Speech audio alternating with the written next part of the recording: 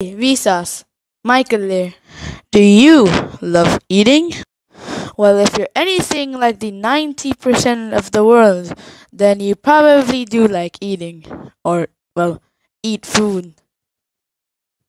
What happens when a population runs out of food? Ugh. Well, there goes my cheeseburger. But there's no need to worry. I can just go outside and get a new one. Or can I? You might think of this as a silly question. And, well, yeah, the answer is I can. Unfortunately, for some, that isn't an option. Famine is more than just a severe shortage of food. It's a catastrophic disruption of food supply that results in widespread malnutrition, starvation, and death.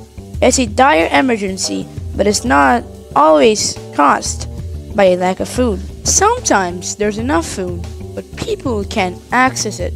So, what causes these tragic scenarios? Natural disasters, conflict, and economic issues can all lead to famine. Climate change is also making it worse.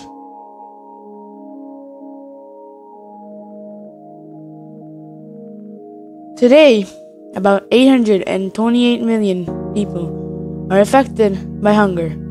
Areas like Yemen and South Sudan are particularly vulnerable. But there is hope.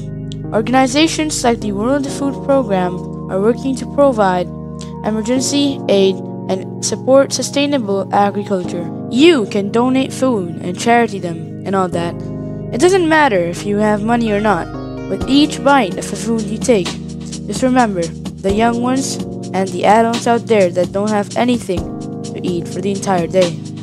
And as always, see you in the next one.